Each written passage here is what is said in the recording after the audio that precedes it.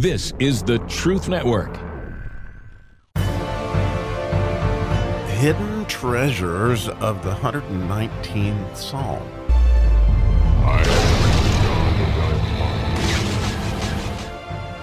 Okay, we're going to dig into some knowledge today when it comes to the letter Peh, as we're in the fifth verse of the 119 Psalms um, Peh section, uh, which the Peh has to do. We've talked about the presence of God, God's face, or it, may be anybody's presence actually, but in this case, we're, we're usually speaking about God's presence. And so, you know, what's some knowledge that we need to understand about God's presence? And, and one of the cool things here is we can see that the knowledge is found in His Word. So if we uh, look at verse 133 in English, it says, Order my steps in thy word, and let not any iniquity have dominion over me.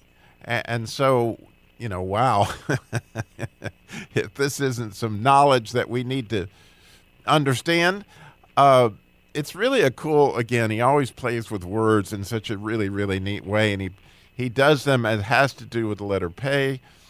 So, the word steps is the way that the verse actually starts in Hebrew, and that word steps has to do with times, like you know how many times you did this and how many times you do that, and so. If you're like me, you know, how many times a day do you, do you get into the Word? or how many times a week?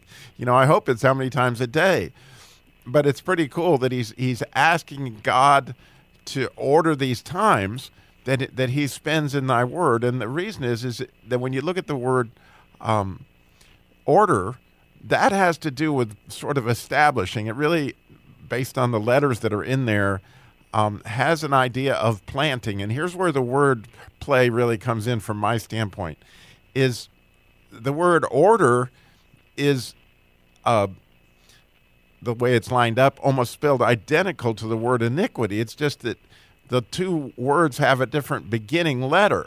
And the idea of order is is that of the desire for God's word versus the desire for uh, essentially evil. And both are getting planted. And so the idea is if I'm not planting, if I've got times during the day where I'm planting, you know, good words in my heart, if I'm not looking for life there, then unfortunately, life will find a way of planting iniquity in our hearts. Um, you don't have to listen to the news very long.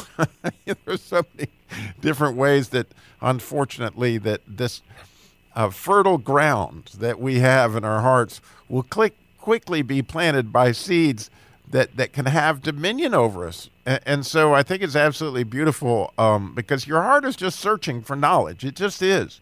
And so by Him ordering us or giving us times in His Word, you know, we're planting the good seeds so the weeds don't take over, essentially, is what the knowledge is here. If we get this knowledge of God, then we don't have to seek other knowledge. And that's, you know, the beauty of, of that. But unfortunately, even that knowledge, if it's gone about the wrong way, can lead to trouble, as we see from the Pharisees and Sadducees, that if we eat too much from the tree of knowledge, you know, knowledge puffs up, but love builds up. So that's always an interesting challenge.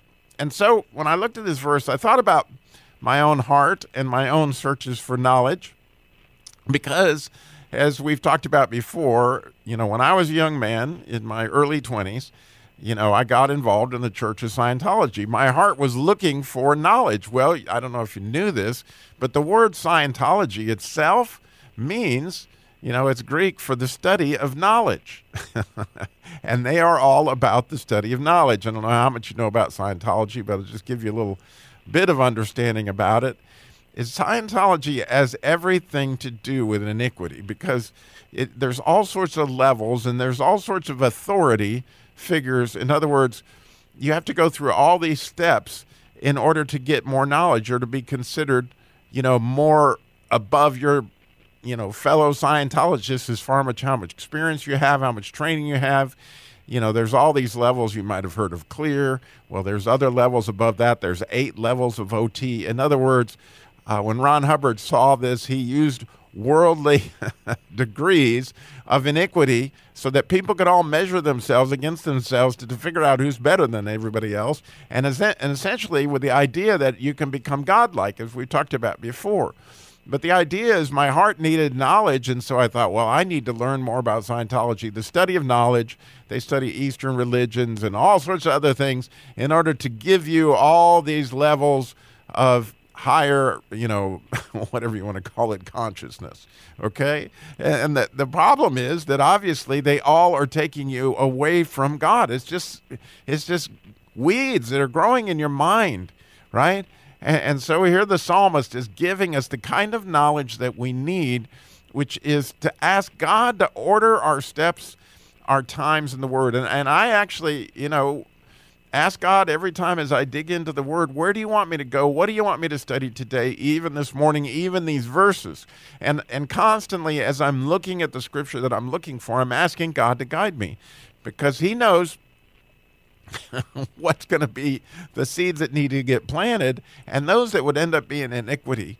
And, and so it's a beautiful thing that here the psalmist is taking this idea of the Peh of God's presence, which is clearly in his word, and asking God to order that in a way that the seeds that are right will be established in his heart. I mean, it's absolutely an amazing thing, and so thankful, uh, really, for this understanding of knowledge and, and how it can be a trick bag in so many different ways for those of us um, in the church so that we don't get puffed up, but that we, we, we have it with, with God's grace and understanding.